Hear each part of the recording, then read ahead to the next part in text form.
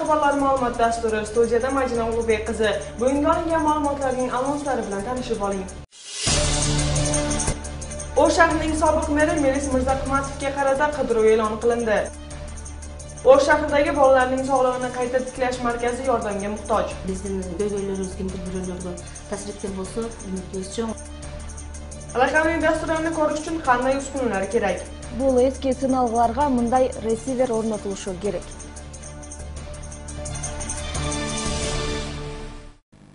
O'sh shahrining sobiq meri Melis Mirzahmatovga qarata xalqaro qidiruv e'lon qilindi. Bu haqda Azadliqqa Ichki ishlar ministrligining ma'lumot xatchisi Baqit Seyitov bildirdi. Uning so'zlariga ko'ra, Bosh prokuratura tomonidan jinoyat ishi qo'zg'algan O'shning sobiq meri Melis Mirzahmatovning hozirda qayerda ekanligi noma'lum.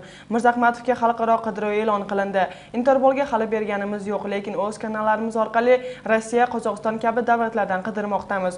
U boshqa davlatlarda degan operativ ma'lumotlarimiz bor, lekin hozircha aniqlangani yo'q. Yo'q dedi Seyitov. Bosh prokuratura 27 noyabrda Melis Mirzahmatovga jinoyat jazo kodeksining 304-moddasiga bog'liq qo'zg'algan jinoyat ishining asosida O'sh shahar sudi qamoqqa olish qarorini chiqarib, qidiruv e'lon qilingan.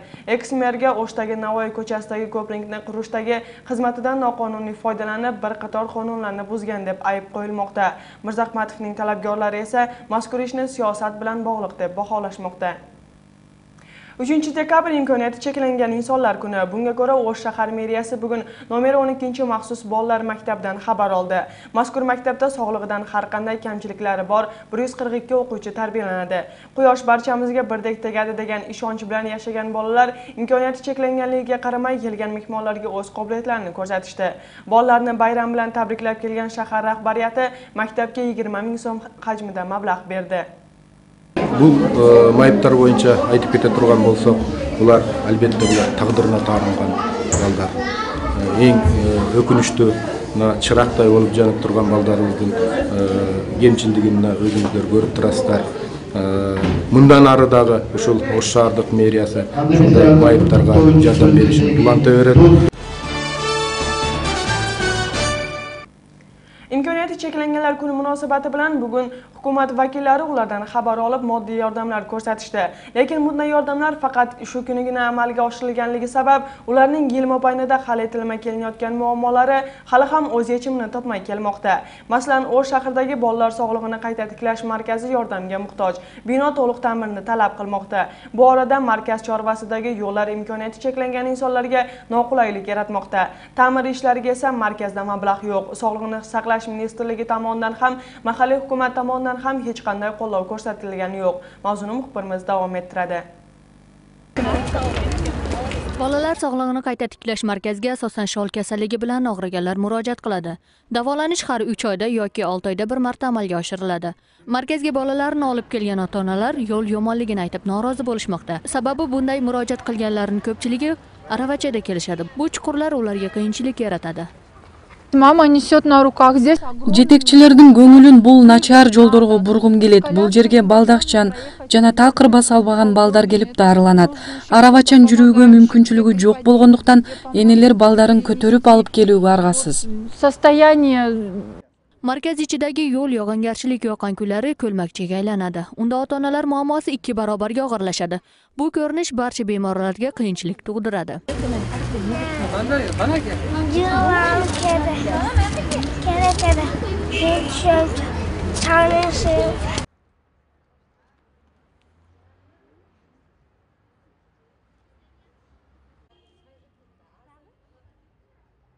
bu yo'l to'liq ta'mirlashni talab qiladi. Unga yetti mashina asfalt kerak bo'ladi. Kunduzgi markazda buncha mablag' bo'lmaganligi uchun shahardagi asfalt zavodiga murojaat qilib ikki mashinasini ular olib beradigan bo'lishgan. Shahar rahbariyati esa bir mashinasini olib berishni va'da qilishgan. Uch mashina yetmasligi bois masala hal bo'lmay keladi. Shu bilan birga binoning o'zi ham kapital ta'mirga muhtoj.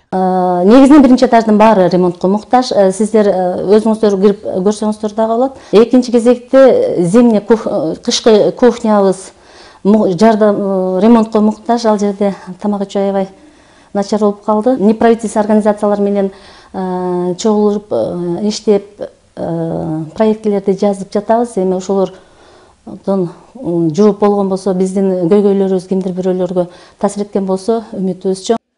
Janubiy hududda imkoniyati cheklangan bolalarga yordam ko'rsatadigan bittagina markaz 70 o'ringa moslashtirilgan oshxonasi esa 25 o'ringa mo'ljallangan bo'lib hozirgi kunda kengaytirishga muhtoj bunga qo'shimcha bolalar maydonchasining yo'qligi ham muammo yaratadi. Kutamiz haligi o'sha bo'lib qoladi. O'shani kutib turganda sirtga olib chiqib ana o'ynatib tursak bolalarni. O'shanda bolalar zerikishmaydi biz qiziqishadi. Biz ana yoqqa boramiz lechение olamiz yaxshi bo'lib kelamiz deb qiziqishib kelishadi bu yoqqa bu yerda kutishadi zerikishadi bolalar hech narsa yo'q. O'shandan keyin больницаga bormaymiz deb bolalar yig'lashadida bu yerda yuqoridagi muammolarni hal etish bo'yicha kunduzgi markaz bir necha marotaba tegishli muassasalarga murojaat qilishgan. Yo salomatlikni saqlash ministrligidan yoki mahalliy hukumatdan hech qanday qo'llov bo'lmadi. Salomatlik сактоо министрлиги өзүңүздөр билесиздер эми каржынын тартыштыгынан колунан келген жардам берип атат аппаратура жактан башка жактан бирок эми капиталдык ремонт жакка акча каражаты бөлүнбөй келет. Бирок жакында дамир абасканына келип кетти. Кыргыз республикасынын жогорку кеңешинин депутаты келип көрүп кат жолдогула биринчи этажды ремонттон өткөргөнгө жана жылуулук системасынан өткөргөнгө жардам беребиз деп кетти эми ошол жака дагы кат жолдойбуз балалар саламаттыгын кайта тиклеш марказынын бинасы бир миң токуз жүз элүү алтынчы жылы курулган эки миң биринчи жылдан баштап эч кандай тамирдан өтмөгөн bundan tashqari bemorlarni davolaydigan ускуналар ham эскирген yana bu жерде логопед defektolog kabi мутахассислар yetishmaydi. Bu masala bo'yicha salomatlikni saqlash ministrligi mutaxassis bilan apparat yetishmasligi respublikadagi barcha tibbiy maskanlarda yaralayotgan muammo ekanini ta'kidlab o'tishdi. Hilola ashurova nazgul axunova samat piratov intimaq imkoniyati cheklanganlarning huquqlarini himoya qiluvchi xalqaro konvensiyani ratifikatsiyalash kerak. Bu haqda bugun jangriq jelesi qirg'iziston milliy matbuot yig'inida bildirishdi. Ularning so'zlariga ko'ra birlashgan millatlar tashkilotlarining xalqaro konvensiya 2011 yilda qaralgan. Dunyoning 151 davlat qabul olgan. Lekin qirg'izistonda shundan beri qabul olinmay kelinmoqda yig'in ishtirokchisi har bir bola oila jamiyat birlashmasining rahbari zaynab eshmuratovaning so'zlariga ko'ra konvensiya qabul olinsa mamlakatdagi imkoniyati cheklangan fuqarolarning imkoniyatlari kengayadi mamlakat tomonidan loyihalar ishlab chiqilib qo'llovga olish imkoniyati yaraladi. Конвенция качандыр бир убакта кабыл алынат ага канчалык деңгээлде ушул ушул учурда иштеп аткан жогорку кеңештин депутаттары ушул созывдагы депутаттар бизге кабыл алып берсе ал бүткүл кыргыз республикасында деңгээлинде жашап жаткан мүмкүнчүлүгү чектелген адамдарга белек катары эле болот эле бизден кичинекей потенциалы боюнча дагы эми мамлекеттер дагы кабыл алган а биз эмне үчүн кабыл ала албайбыз деген эле нерсе да. Bolalar uylarining har bir tarbiyalanuvchisining oziq ovqatiga kuniga 80 so'mdangina ajratiladi. Shu bilan birga ularning 18 yoshdan keyingi hayotiga hech qanday ko'mak ko'rsatilmaydi. Bunday ma'lumotni bugun o'sh davlat yuridika institutida bo'lib o'tgan ota onaning bolalarga bo'lgan javobgarligini kuchaytirish deb nomlangan davra suhbatida bolalar uyining rahbarlari ma'lum qilishdi. Batafsil muxbirimiz xabar qiladi. Tadbirni o'tkazishdan asosiy maqsad bolalarning huquqlarini himoya qilish va ota onalar mas'uliyatlarini yoshlarga profilaktika qatori tushuntirishga yo'naltirilgan. Unda yosh oilalarni ajrashib ketishidan farzandlarini qarovsiz qolayotganlari alohida ta'kidlandi. Бул жерде албетте чоң негизги көйгөйлөр жатат ошол көйгөйлөр боюнча биз бүгүн балдардын мына бул ата энесиз калышы баягы ата энелердин ата энелик укугунан ажырашы бул негизги проблемаларды балдарды ташталып кетиши бул чоң негизги көйгөй деп болуп эсептелет ошондуктан бул көйгөйлөр боюнча бүгүн биз толук текерек столдо бир кеңири сүйлөшөбүз davra suhbatida bolalar uyining rahbarlari hozirda asosiy muammo bo'lib kelayotgan masalalarni muhokamaga qo'yishdi. Davlat tomonidan ajratilgan mablag' har bir bolaga kuniga sakson so'mdan to'g'ri keladi. Bu summa ularni oziq ovqatigagina yetadi. Shu bilan birga bolalarni internatda tarbiyalanishiga o'n sakkiz yoshgacha ruxsat berilgan. Undan keyingi hayotini qanday davom ettirishi qarorda ko'rilgan emas. Менин sunishim ушул калгандары каралган он сегизге чыккандан кийин каяка барар дегенде айтылган ушу мамлекет тарабынан мен ушу суранат элем он сегизден чыккандан кийин бул балдарга жатакана жок дегенде жатақхана же болбосо үйленіп қалса бір комнатты тұрақ жай же болбосо үй құруға мүмкіншілігі болса жер мәселесін қарап беріш керек muhokamada qarovsiz bolalarni hujjatlarini aniqlash qiyinchiliklar yaratayotganini ham aytildi. Bolalar uyiga go'daklarni ko'p hollarda hujjatlarsiz tashlab ketishadi. Ba'zilarigina tilxat bilan qoldirib ketishadi. Shuning uchun bolalar balog'atga yetganda pasport olishida qiyinchiliklar yaraladi. Бул документтерди туурлоо тактоо сотко чейинки алып баруу иш өтө чоң өтө убаракерчиликти талап кыла турган иш азыр эле паспорттоштуруп атканда айтып атпайбы ата энең барбы ошонун нике күбөлүгү барбы алып кел же болбосо паспортунун көчүрмө алып кел деп. Андайы жок болгон ал эмнени алып барат ota onalarning farzandlariga bo'lgan mas'uliyatini orttirish nomidagi davra suhbatida bolalar uyidan bolalar uylaridan rahbarlar nodavlat tashkilot vakillari va talabalar ishtirok etishdi yig'inning yakunida ular tomonidan bildirilgan takliflar tegishli organlarga yetkaziladigan bo'ldi ra'noy nazarova adina do'stunbetova azam buzrikov intimaq rossiya prezidenti vladimir putin mehnat muhojirlari uchun majburiy tibbiy sug'urta qonuniga qo'l qo'ydi. Ma'lumotga ko'ra endi chet ellik fuqarolar bilan mehnat shartnomasini tuzishda so'zsiz turda o'z istagi bilan majburiy tibbiy sug'urta polisi yoki xizmat ko'rsatuvchi tibbiy muassasalari bilan shartnoma bo'lishi lozim. Ikkalasi teng yo'q bo'lgan vaziyatda chet ellik ishchi tibbiy xizmatini ish beruvchi tomonidan to'lanadi. Ishga yo'llanganlar ishchining loyihasi yoki ishga berilgan muddati patenti bitganida ishdan ketkazishga majbur. Ishdan ketkazish ketkazishdan oldin ham o'rtacha ish haqining ikki haftalik tovon to'lashi shart bu hujjat rossiyaning mehnat ministrligi tomonidan tayyorlandi. Ministrlik mutaxassislarining ta'kidlashicha bu yangi qoidalar chet ellik ishchi kuchlarini bozorning legallashtirishga yordam beradi. Mehnat ministrligi hozir rossiyada uch butun o'ndan besh million chet ellik fuqaro ishlab yurganligini bildirdi. Rublning narxi ko'tarilishi noma'lum. Qirg'izistonda rublning so'mga nisbatan narxi rekord darajada pastladi. Milliy bankning ma'lumoti bo'yicha shu kunlarda bir rubl bir so'm o'n tiyinga barobar bo'lmoqda. Bu vaqtgacha bunday pastlash bo'lgan emas. Mutaxassislar yaqin orada so'm va rublning narxi teng bo'lib qolishini taxmin qilishmoqda. Nazoratchilarning so'zlariga ko'ra mazkur pastlash g'arbning rossiyaga kirgizgan sanksiyalarga bog'liq bo'lmoqda.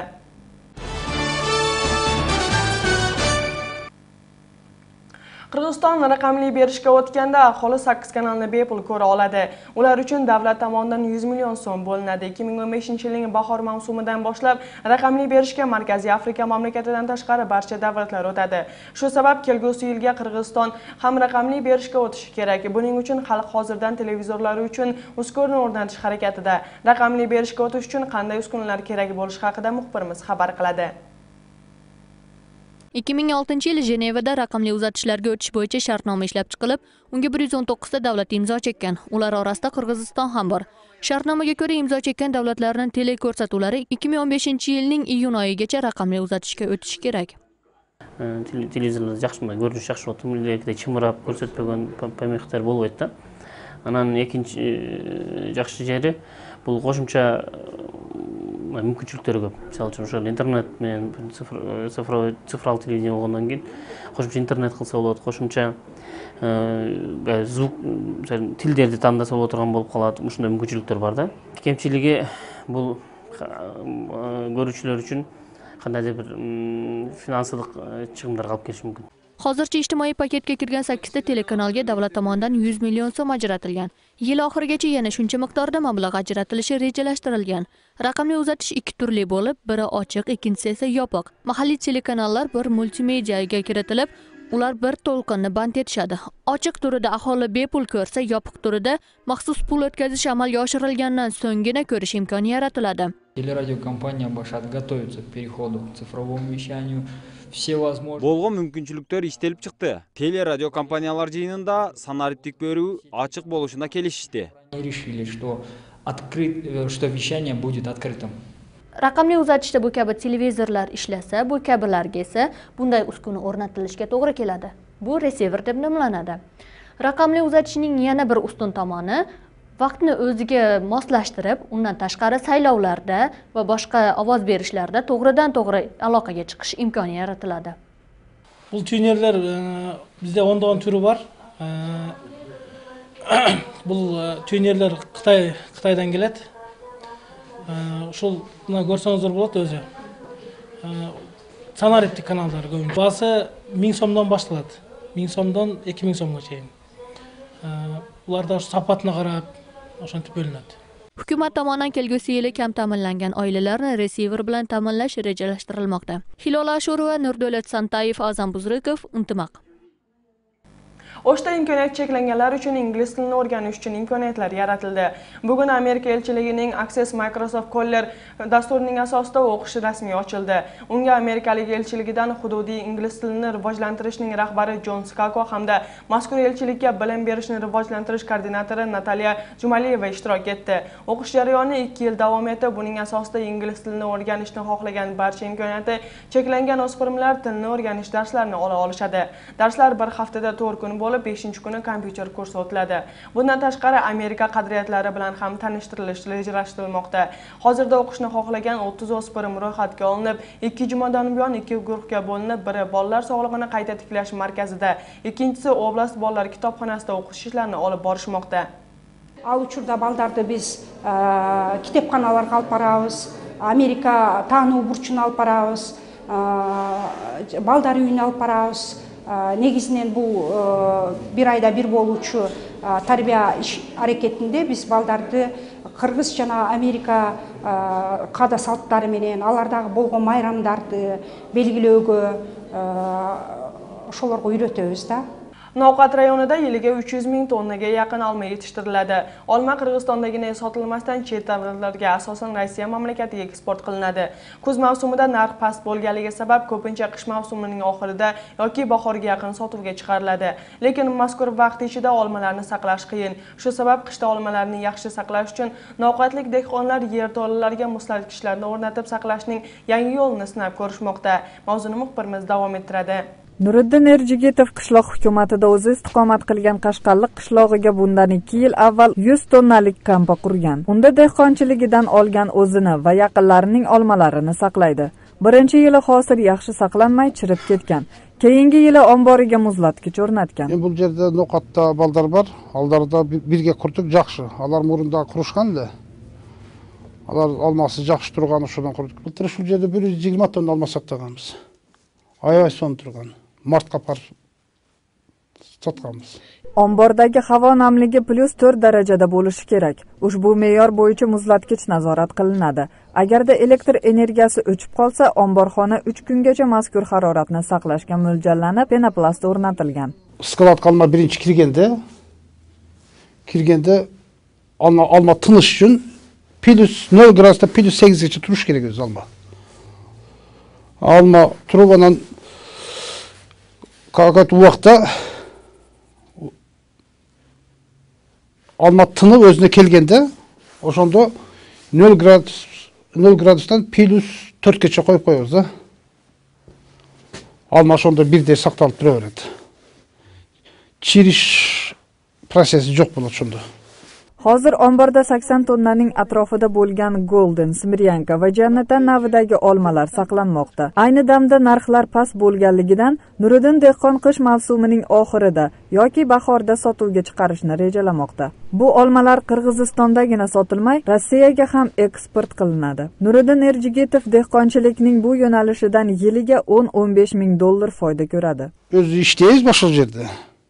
Bunda boshqa башка qilib uylanib qolganmiz. Үйрөнүп койгонбуз бул таза иш да кыйынчылыгы деле болот буда ташыйсың балдарды алып барасың dehqonning oltmish sotix yeri bor. Undan tashqari qishloq yashovchilaridan ham olma olib sotadi.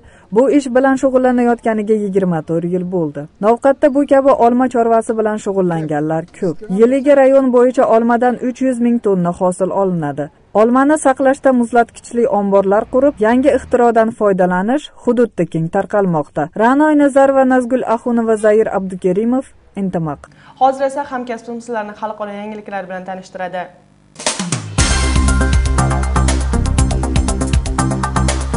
Misr sudi musulmon birodarlar islomiy harakatining bir yuz sakson sakkiz a'zosiga o'lim jazosini berdi. Sudlanganlar kerdasa qishlog'idagi politsiyalarning o'limida aybdor deb topildi. O'lim jazosiga tortilgan bir yuz sakson sakkiz nafar kishining bir yuz qirqigina ushlangan qolgani sirtdan sudlangan. Gonkongdagi norozilik namoyishining liderlari namoyishchilarni tarqab ketishiga chaqirdi. Mazkur tadbir ular politsiya demonstrantlarini qattiq quvg'inga olgandan keyin bildirildi. Politsiya tayog'ini elga qo'llagan hukumat aqlsiz xavfsizlik uchun talabalarni tarqab ketishiga chaqiryapmiz dedi liderlar. Namoyishchilar ikki oydan beri gonkongda pekin aralashuvisiz erkin saylovni talab qilishdi. Urush tufayli suriyadan chiqib ketgan millionlab inson och qolish xavfida. Sababi donorlar mablag' o'tkazmay bmt oziq ovqat dasturini to'xtatmoqda. Hozirda bir yarim milliondan oshiq qochoqlar livan turkiya iordaniya iroq va misrda boshpana topgan. Insonparvarlik yordamini davom ettirish uchun bmtning hisobida oltmish to'rt million dollar sarflanadi. Livan kuch boshqarmaligi o'zini islom davlati deb atab olgan terror guruhining lideri abu bakr al bag'dodiyning ayollaridan biri deb taxmin qilingan ayol ushlanganini bildirdi. U qalbaki hujjat bilan seshanba kuni suriyadan chiqib ketishga harakat qilayotgan vaqtda qo'lga tushgan. Ushlangan ayolning ismi sharifi hozircha ommaga oshkor qilinmadi. Ukrain parlamenti premyer ministri arseniy yatsenyuk rahbarligida yangi hukumatning tarkibini qabul qildi. Ministrlar kabineti oliy radadagi to'rt yuz yigirma deputatning ikki yuz sakson sakkiz nafari qo'lladi. Hukumat tarkibi parlament saylovidan besh hafta o'tgandan keyin bo'ldi. Mazkur saylovda g'arbparast partiyalar g'oliblikka erishgan. Besh partiya bir oy ichida bir qator reformalarni amalga oshiradigan muxolifat hukumat tuzishga va'da bergan.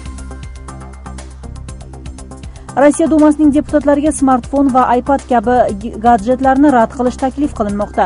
Uning o'rniga oddiy so'zlashish uchungina telefonlarni qo'llash kerakligi ta'kidlandi. Bu to'g'rida qonun loyihasi tez kunlarda qaraladi. Tashabbusni taklif qilgan spravedlivaya rossiya partiyasining deputati dmitriy garovtsevning ta'kidlashicha bu gadjetlar xavfsizlik uchun xavotirli. Sababi ularning yordamida axborotni yuklab va uni dunyoning istagan yeriga yetkazsa bo'ladi. Donetsk havo maydonida rossiyaparast jangarilar qaytadan otishmalar jonlandi deb bildirdi. Ukraina armiyasining matbuot markazi. O'q otishni to'xtatish to'g'risida so'zlashuvlardan keyin donetsk havo maydonida bir kun tinchlik hukm surgan. Biroq bugun qaytadan o'q otilib jangarilar terminallarga hujum qildi deb aytilmoqda. Bungacha jangarilar o'q otishmaslik to'g'risida shartnomaga erishganini e'lon qilgan edi. Shu kabi so'zlashuvlar lugansk hududida ham bo'lgani xabar qilingan. Yaman markazi sanada portlash sodir bo'lib uch nafar odam halok bo'ldi. Mashinaga qo'yilgan portlovchi modda shaharning markaziy qismida portlagan. Teraktning maqsadi eronning yamandagi elchisini yo'q qilish bo'lgan. Voqeada al qoida ayblanmoqda. Janubiy koreya hukumati tamaki narxini sakson foizga qimmatlatdi. Hukumatdagilar bu kabi qadam bilan o'z fuqarolarini yomon illatdan xalos qilishni maqsad qilgan. Oldin bir quti tamaki ikki yarim dollar bo'lsa endi narxi to'rt dollardan oshadi. Janubiy koreya tamaki chekkanlar bo'yicha dunyoda bosh safda turadi. Bundagi erkaklarning deyarli qirq besh foizi tamaki chekadi.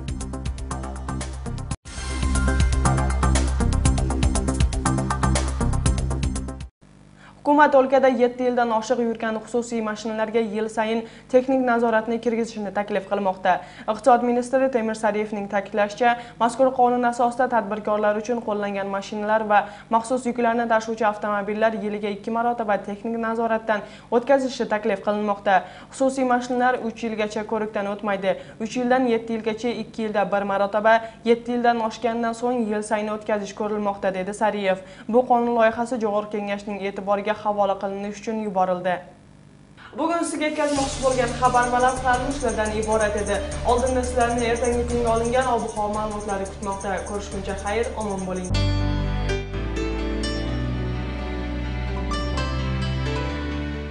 Qirg'iz gidrometdan olingan ma'lumotga ko'ra ertaga yurtimizning ayrim hududlarida qor yog'adi havoning harorati botken oblasida kechasi bir olti daraja sovuq kunduzi uch daraja sovuqdan ikki daraja iliqqacha ko'tariladi? O'sh oblastida kechasi bir olti daraja sovuq kunduzi ikki daraja sovuqdan uch daraja iliqqacha ko'tarilishi kutilmoqda. Jalolobod oblastida ham kechasi bir olti daraja sovuq kunduzi ikki daraja sovuqdan uch daraja iliqqacha ko'tariladi? Norin oblastida kechasi o'n besh yigirma kunduzi o'n o'n besh daraja sovuq bo'lishi kutilmoqda. Talas oblastida kechasi uch sakkiz kunduzi ham uch sakkiz daraja sovuq bo'ladi. Issiqko'l oblastida kechasi uch sakkiz kunduzi besh daraja sovuq bo'lishi kutilmoqda. Chuy oblastida kechasi ikki yetti kunduzi ham ikki yetti daraja sovuq bo'ladi. Poytaxtimiz bishkekda ertaga qattiq qor yog'ishi mumkin. Havoning harorati kechasi bir uch daraja sovuq kunduzi ikki to'rt daraja sovuq bo'lishi kutilmoqda. Shahrimiz o'shda ham to'rtinchi dekabr kuni qor yog'adi. Havoning harorati kechasi bir uch daraja sovuq kunduzi ikki daraja iliq bo'lishi kutilmoqda.